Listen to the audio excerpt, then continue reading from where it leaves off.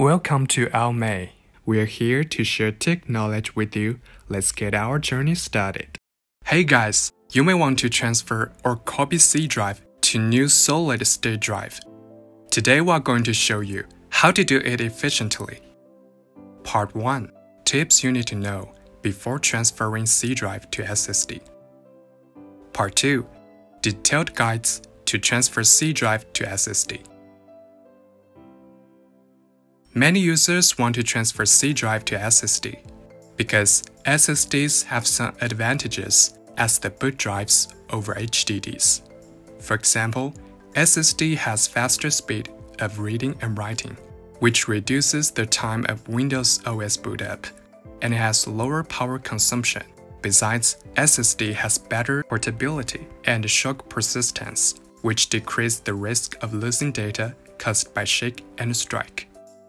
Whether you want to upgrade laptop hard drive to SSD entirely or use SSD for OS, you will need to transfer C drive to new SSD. Before transfer, here are some tips you need to know.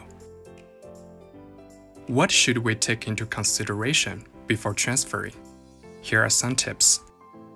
Remember to backup system and data first, and we should backup the target disk as well if it is not a new disk. For desktops, an SSD with 60GB capacity is usually sufficient. But for laptops, we need a bigger SSD because we only have one disk bay. The most important thing is the storage space must be larger enough to store our Windows OS. The easiest way to copy C drive to new SSD is using third-party OS migration software. AOMEI Backupper is reliable and all-around OS and disk cloning software that allows us to clone C drive to SSD in Windows 10, 8, and 7. In addition to system clone, it also contains partition clone option to clone specific partition or volume, or disk clone to clone hard drive to SSD. Just Google AOMEI Backupper, download and install it. Now let's transfer our C drive to SSD with it. Insert your SSD and make sure it can be detected. Run AOMEI Backupper and come to its homepage.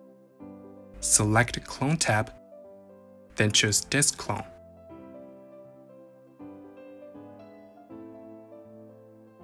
Choose the new SSD as the target disk and click Next. Take SSD alignment and click Start Clone after our confirmation. In fact, we can also try to transfer C drive to SSD with Windows Building Tool by manually practice. This way is more complex than using AOMEI Backupper. Let's check out. Firstly, we need to shrink the C drive in disk management to fit on the smaller SSD. Secondly, we should backup the shrunken C drive. We can head to Backup and Restore. Select Create a System Image. Then shut down our computer. Install SSD, go to Repair your computer, and restore from the backup image. Make sure there is only one hard drive that we want to restore. If there are other hard drives, you should exclude them. Then we should plug all the drives back in, except for the original OS drive to check out whether the computer will boot successfully or not. Finally, get to command prompt and input this command. This command line makes Windows detect the new drive and thus enable all the features unique to these drives. Two different ways of transferring C drive to SSD. Choose the most suitable one for yourself and begin to try. Hope this video can help you out. Want to know more about AOMEI? Looking for more tech knowledge? Just subscribe us and leave comments. We're here to help you with any questions.